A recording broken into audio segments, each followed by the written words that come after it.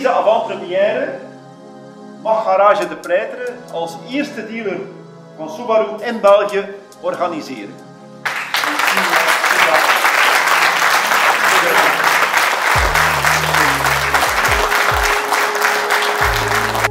Mag ik u voorstellen de Subaru